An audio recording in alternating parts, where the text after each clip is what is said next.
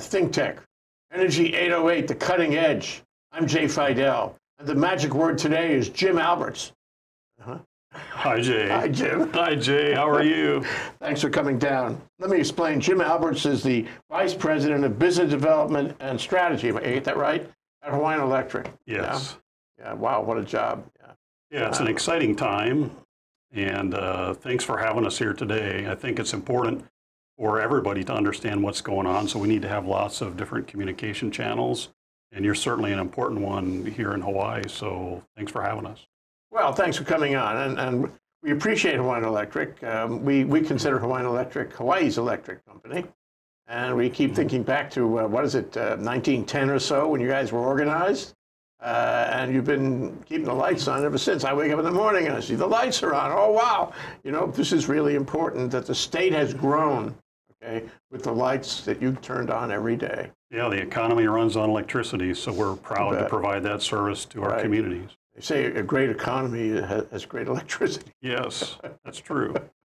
but you know, you're working for the past few years on renewables. It's all about renewables. Um, and uh, Hawaii's a leader in that. Hawaii's learning a lot. And we're here today to talk about how much you've learned about the grid and all the technologies that make the grid and, and connect up our renewable system and allow us to go further with it, you know, and, and reach our goals. Um, and one of the things that uh, you're doing is you're inviting executives from mainland utility companies to come here and take a look at what you're doing. Can you talk about it, Jim? Sure. There's a group called the Smart Electric Power Alliance, SEPA for short, and it's a nonprofit group that looks across the industry, not just electric utilities, but all the other parties that participate in the energy infrastructure. And it's a nonprofit group looking at a carbon-free energy environment by 2050. So trying to pull all the right people together to accomplish that. So every year there's a fact-finding mission, and that group goes to places like the UK, Australia, and this year they came to Hawaii. And the reason they come to Hawaii is because there's a lot of great stuff going on here, a lot of innovation, a lot of things happening here much faster than anywhere else in the world. So it's a great place to see what's happening. So we helped arrange for that. Uh, brought this group over here and we met for a week. And they got a chance to go out into the field, look at what's going on out there, and we had a chance to talk to them in a room for a couple of days too. So it was really great for us to showcase what's happening here. We heard some really nice feedback from everybody that came. So I know we brought a short video yeah, on let's look at it. So let's look at the short video now and see, see what, what this looks like.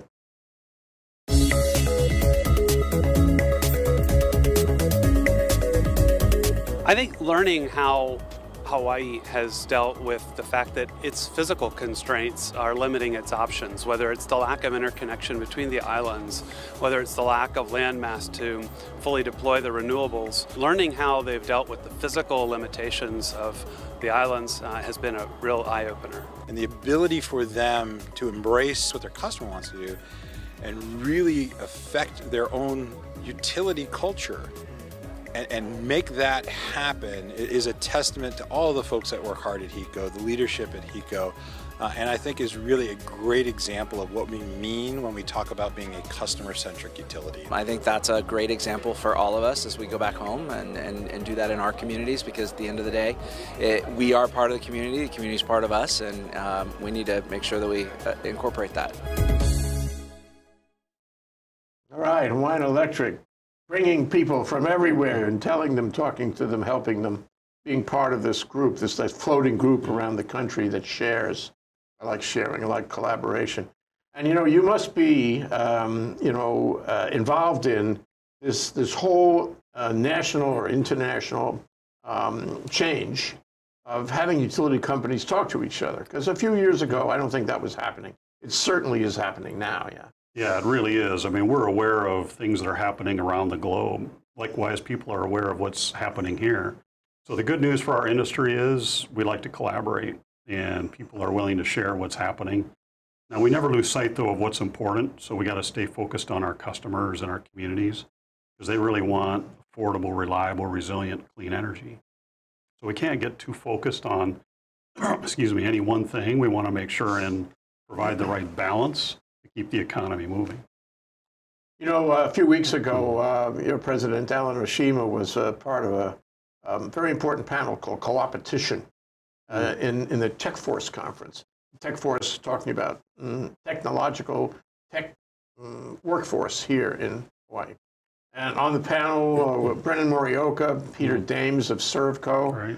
Brennan Morioka, one of your own graduates. Yes. Now, the College of Engineering, you must be proud. huh? Very proud. Brennan is awesome. He's a great guy. He sat in that chair a number of Oh. times. And, uh, and then Mike McCartney, formerly the chief of staff uh, to the governor, now uh, he runs DBED. And uh, finally, uh, Alan. And there were, there were four of them, and uh, I hope I got them all. And it was uh, uh, uh, Anna Elento, Elento Sneed was the uh, lawyer, a labor lawyer Okay. was the uh, moderated panel. Anyway, Alan's remarks were very interesting because he talked about this. He talked about collaboration. He also talked about collaboration within the company, horizontally and vertically. I mean, he's always talked about that since the day he took office as president. Um, but he was talking about sharing information, as you talked, you know, and collaboration with other utilities. And the fact is that we have best practices, techniques, uh, you know, we have systems that they don't have necessarily on the mainland. And one of the reasons they like to come and talk to us is that we have things that they, they want to do. We're ahead of them in many ways. It's not just in the, you know, uh, the, the metrics on, on uh, renewables. It's on how we handle the renewables, how we deal with all the challenges and all the issues around renewables. Um, they want to know what we're doing. And one of the things he said was that, uh, you know, Hawaiian Electric could and maybe will, maybe is uh, actually consulting on a, on a business basis with other utilities on the mainland and in other continents too. Uh, what do you know about that? Yeah, we have done some consulting. We'd like to do more. So if people hear about this on Think Tech today, uh, call me and we'd be happy to help out. The one thing you have to think about when you think about Hawaii, though, Jay, is where we're at. So everybody else looks at us because we're a series of islands and we don't have connections to the mainland. We don't have transmission lines between the islands. So we really have to solve problems uh, that other people may not see for a while, which is why they like to come and learn about what we're accomplishing here, and especially when it comes to private rooftop solar. We've got one in three homes on Oahu, and that continues to grow. And if you look at our plan out to 2045 to get to 100% renewable energy, we want solar on every roof. We're going to need it. And one of the reasons that's driving that is land use. So, you know, land is more scarce on an island. So, long story short, there, wrapping all that together on an island, if we can accomplish that here, uh, people want to learn about it and take that process and technology back. So, they view us as innovators. They really look how we've solved these problems and they, how they can take that back and replicate that. We're in a, a laboratory. Yes. I mean, let me add one, one thought to all of that is it's a, it's a continuing laboratory. It's not a static laboratory. It's not a one-shot, one issue, one problem laboratory. laboratory. It's as you go forward, you find new issues you have to solve. As you go forward, new technologies come onto the platform, and you have to, you know, have to deal with them, and you have to be a laboratory for that. So it's a constant, uh, in, uh, evolving laboratory, is what it is. Yep, it really is. But you got to come back to again what customers and communities want and need. So they want affordable, reliable, resilient, clean energy. And doing that on an affordable basis means we have to innovate not just on the technology for the systems, but also in the process. So a couple of years ago, uh, the company came up with a new purchase power agreement, the renewable dispatchable purchase power agreement. And that was a game changer that we also worked on with SEPA. And what that does is give the developers a fixed monthly payment instead of having to worry about curtailment and dispatch order and all the things people worry about in other markets. So that gives developers more certainty. And with that certainty, we hope drives down pricing for customers. Now, people, when they hear about that, they want to study that notion too and take that back. So it's about the whole process that comes around this that serves customers. It's not just about the technology, although the technology is important. You know, the way it works, though, is um, you have to attract developers. You do. If you can't attract developers, no so. That's right. Um, especially when you're dealing with new technologies, new energies that require expertise on something that happens right now. you That's know. right. And so the question is, uh, and, and as the uh, business development and, and strategy guy for Hawaiian Electric, you have to be aware of the marketplace for those people who would respond to an RFP um, nationally and I suppose internationally. Right. So you've managed to do that. You've managed to have a lot of people come in to respond to your RFPs. There are a lot of active RFPs going on right now. I mean, incipient contracts for renewables. Um, and there are a lot coming down the pike. Can you talk about that? Sure. Well, first I'd point out, you know, online on our website, we track and show all of the projects that are in flight. So anybody that wants to go out and look at that anytime they'd like to see where these projects are at in progress, they can see it. now, if you think back to late last year, early this year, we finalized our stage one RFP, and that put 260 megawatts of capacity on the system and uh, about a gigawatt of storage, gigawatt hour of storage. And then in the second round, which is coming right on the heels of that, 900 megawatt hours of energy, 500 megawatt hours of storage, and 210 megawatts of grid services. Now, the grid services is new, and we look at that first. So those bids come in first. We see what we can solve locally before we work on the other things. So it's all about finding the best fit at the best cost for our customers and do it in the right order. Now, the first round, uh, because of this renewable dispatchable PPA that we put in place, we got a lot of interest, and we signed contracts with eight developer, eight projects, and seven of those projects are already in flight. The eighth one still pending approval. But we saw prices from eight to twelve cents uh, per kilowatt hour levelized cost of energy in those bids, and that's with storage. Now compare that to uh, fossil fuel avoided cost generation of about 15 to 16 cents. So we're really doing some innovative things that are driving down costs for customers. And if you look at our components of every bill, it's important to note that 50 to 60% of the bill is energy, whether it's purchase power agreement or power from us.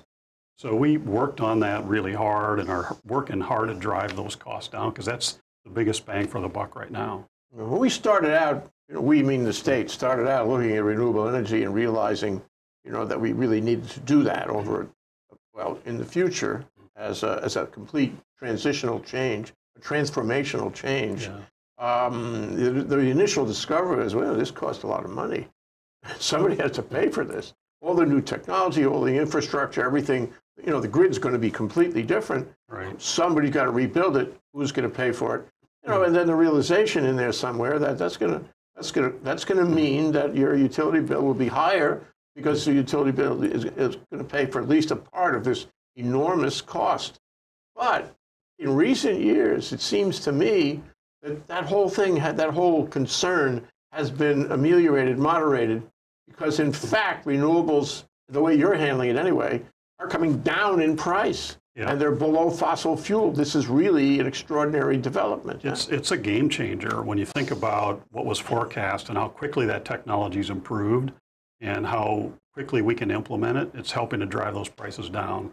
Now, the fixed cost part of the bill to integrate all of this and make it work may be a little higher than it was in the past, but when you that's the smaller part of the bill. When you put the energy costs and you start lowering those, we hope to drive that cost down as low as we can get it now, the other thing it does for all of our customers is provide bill stability. Over time, you've seen oil prices go up and down like this with changes in politics and weather, storms, whatever might happen. But with these long-term 20-year power purchase agreements that are fairly flat over time, people won't see that big lumpiness in their energy part of their bill going forward. So that's a real plus for the economy. Now people can plan and budget uh, very thoughtfully and make some good forecasts. Seems to me we're in a good space. So much so, I think we can relax for one minute and take a one minute break. That's Jim Alberts, Hawaiian Electric. We'll be right back with more about strategy. All right. Thank you, Jay. Aloha, Stan Energy Man here. You can see me every Tuesday at 3 p.m. here on Think Tech Hawaii. Uh, we're not on Friday anymore, so don't be looking for me on Friday. I'm on Tuesday at 3 here on Think Tech coming to you live and direct from the beautiful studios in downtown Honolulu's Pioneer Plaza. So please join me and we'll talk everything about hydrogen and clean energy, not only for Hawaii, but for the whole wide world. Aloha. Aloha. My name is Wendy Lowe, and I want you to join me as we take our health back. On my show, all we do is talk about things in everyday life, in Hawaii or abroad. I have guests on board that will just talk about different aspects of health in every in every way, whether it's medical health, nutritional health, diabetic health, you name it, we'll talk about it. Even financial health. We'll even have some of the Miss Hawaii's on board and all the different topics that I feel will make your health and your lifestyle a lot better. So come join me. I welcome you to take your health back. Mahalo.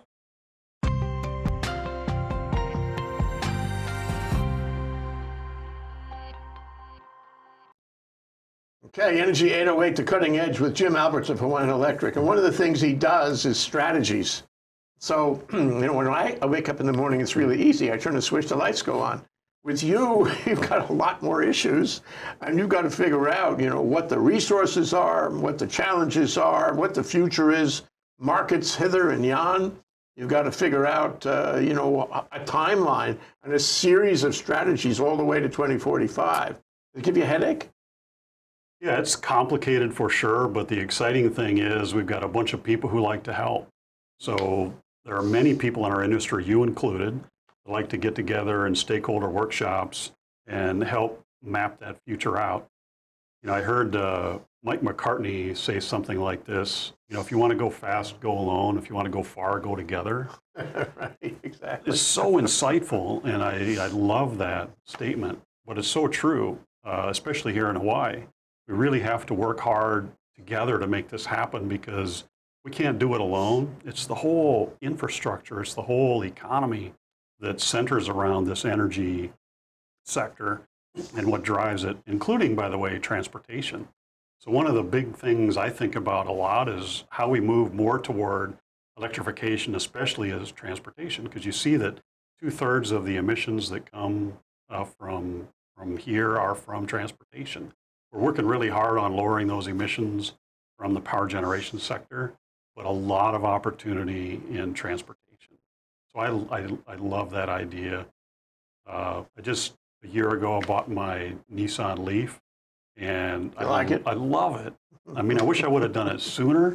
The technology has improved so much, and with the tax credits, uh, it's very economic now. And I think all of the the car manufacturers say in a couple of years it's going to be on on par with uh, fossil fuel car.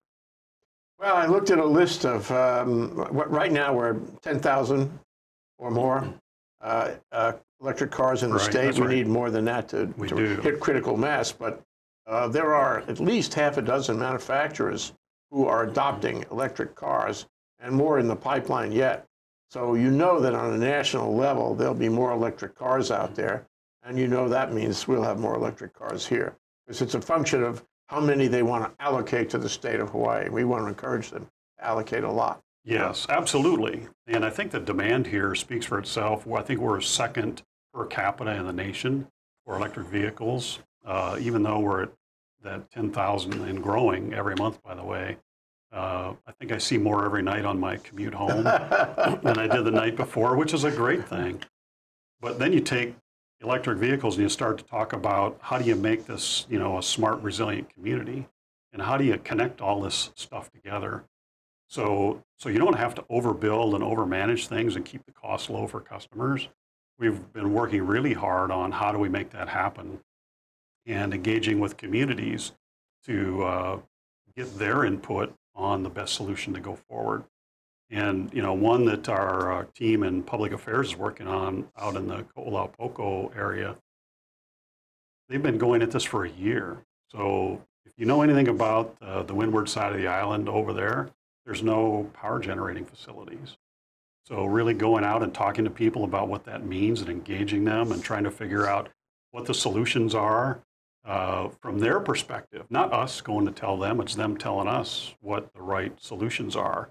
And if we do that, uh, then the community gets what it wants, and we can provide resiliency services that they uh, that they want for their community. Yeah, everybody has to buy into this. Not everybody is on board just yet.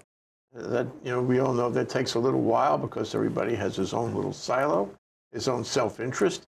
But at the end of the day, if we're going to do this, we have to have everybody on board. We have to have people collaborating, cooperating, and, and doing it together, you know, uh, in, in the words of Mike McCartney. Yeah, I mean, you really do. This this takes everybody working together to make this happen. Not any one group can do it, and especially here because of the fact we live on a series of islands makes it even more important. Now, the good news is, I think the people of Hawaii were built for that.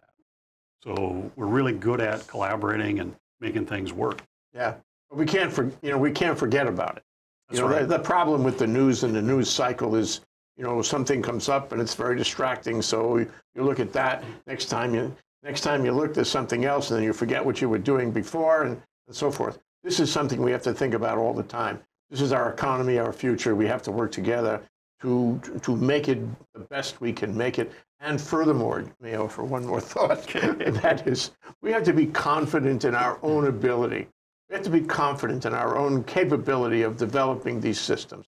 That's why this trip from the utility companies to Hawaii to look around and be impressed with what we're doing, that's why it's so important because hopefully people understand we're proud. We, we You know, we have reason, you know, for confidence and pride. You. We're doing so many great things here, Jay. I just I beam with pride for our whole team when I think about that and talk to people like you that we're doing great things for our communities.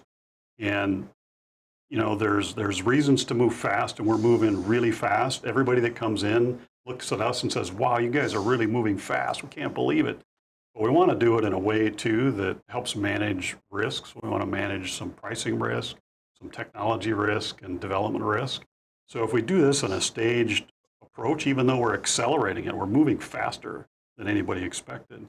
We want to do it in a way that's good for customers. Yeah, and there is risk. And we're cutting new territory here. I remember uh, David uh, Bissell, uh, Kawaila, he gave a speech one time. He said it's, it's all about appreciating the risk, managing the risk, and getting people to understand there is risk. That's right. It doesn't happen without managing the risk. That's yeah, that's right. That's part of of any transformation, and I think that's what the whole industry is going through now. Is how do you make this transformation? In 20 years, people that are growing up are going to see that as just the way it is. But for those of us who've lived through this transformation period, are going to have a different perspective about it, Yeah. and a lot of lessons to be learned along the way. Yeah. We're we're innovating, we're piloting new things all the time, technologies uh, out on the distribution system that help manage voltage to allow more people to connect with private rooftop solar. So our, our company is really on it. Yeah, you got to be, you got to keep the lights on. You got to be safe because electricity is dangerous in the wrong place. Um, you have to, you have to keep the price down. You have to keep the business end of it going. There's a lot of things that you have to deal with to, to keep it on the channel. So my question to you here in the waning minutes of our discussion, Jim, is strategies. Strategies. Um, it's not only business development, uh, although that's a long-term project, obviously, but it's strategies. If you could just identify for us the strategies that you're focused on now and the issues you'll have to cope with, you know, going forward to reach 2045, which was a number they threw on the wall and which now we live with. And we believe it's possible, right? Yep. So exciting times, even on the strategy front. We're kind of ending our five-year strategic planning window, and we were focused on three important pillars. So customer experience is the first one because we're really centered on what that means. Grid modernization is the second piece, and clean energy is the third leg of the stool. So all three of those things have to work together to make the whole system work. Now, uh, we're out in the communities and talking to community leaders all over about what's the next five-year window look like. And that's what excites me is this isn't our plan and we're just telling people what it is. We're out talking to everybody saying, what does it mean for you? Because we know not everybody's the same. Many residential customer segments, if you live in a high rise, your needs are different than if you live in a single family home somewhere else. So we really want to be able to start to customize and differentiate what those services are for the different types of customers, wherever they are. Same time, you got to wrap around the possibility of climate change effect, We do. about sea level rise, about extreme weather, and you have to build that in to make us resilient. This is that further complicates the strategies. Well, how, would you say it complicates the strategies, and what strategy do you do you, um, you know employ and deploy uh, to deal with those really unknown risks? So we've, we've hired a company called Jupiter Research, and they're helping us develop scenarios around sea level rise and climate change. And when you lay those scenarios out and you start to say, okay, how does that affect our strategy, including where do we put our infrastructure? And how do we keep that safe so we can continue to provide service no matter what the conditions are, uh, affects our strategy a lot. Now, the overall big picture strategy for us comes back to that thing we started with, which is customers. You know, how do you do what's right for customers? Yeah, absolutely. So, given this uh, group that came, uh, and given the fact that you have been talking with and, and doing business with various people who respond to the RFPs, not only in their paperwork, but in talking with them, meeting with them, getting a handle on who they really are, what their capability is, what they can do, what they want to do, how they would integrate with the Hawaii energy transformation. Yeah. Um, where do you think the strength is now in terms of the RFP responders? Is it, is it here? I mean, or to what extent is it here? Is it on the mainland? What states on the mainland? Is it from Europe? Is it from Asia? Where's the strength going to come from as we go to 2045? Yeah, the strength comes from all over the place. I expect we're going to see bids from companies that have global representation. And the exciting thing for us is they bring a lot of skill sets to the islands. Now, many of them have already been doing projects here for the stage one RFP that is in. Uh, stage two is in. Oh, by the way, 75 projects in the stage two bucket. So that's really, really exciting to have that many projects with different developers lined up. So all of those people, uh, we've got experience now in stage one, so it's going to get better. We've improved the EPA process, we've improved the IRS process, and now we're moving into stage two. We've had workshops with the developers. The PUC has helped host these things, and that's been really good for us because they've been a huge help. The PUC in the first round, they issued an order to approve contracts in three months, Jay. That's wonderful. This is such a big help. We really appreciate what, what they're doing for us. Uh, I think I remember the first PPA before that took over a year to do one, and then we did eight in three months. So I think everybody, developers included, are excited about the speed and the certainty of the process now is getting better. Still lessons to be learned. We got a ways to go, and you know we'll have to learn how to work our way through those. But everybody's collaborating, doing a great job. But that's part of the best practices that we can share with these visiting firemen. Uh, and it's also, you know, uh, something about the, the legal environment that you have created that, you know, we now employ. It's part of the transformation. The contract documents are different. They're smarter. Um, the way you handle the RFP is different and smarter.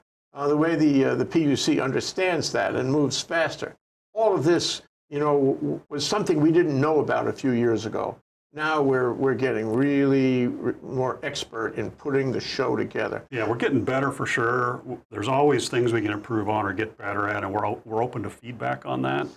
But the reality is, it's like anything. You just keep doing it over and over, and you get really good at it. Yeah. Uh, now, well, for us, our team, uh, we got a team of experts that dedicate their lives to this. I wish everybody outside could come in and see how hard those groups work to make this happen. So it, this is for me the most exciting time in the ener energy industry ever. Well, we have to do this again and again, as they say, repetitio mater studiorum, which means you get better if you do it more. and it's Latin, by the way, which means you and I will have to drill down on some of these things going forward, Jim. I look forward to seeing you here again. Yep, I'll look forward to it. Jim Alberts, All right. Electric. Thanks again, Thank Jay. So Appreciate being here. Aloha.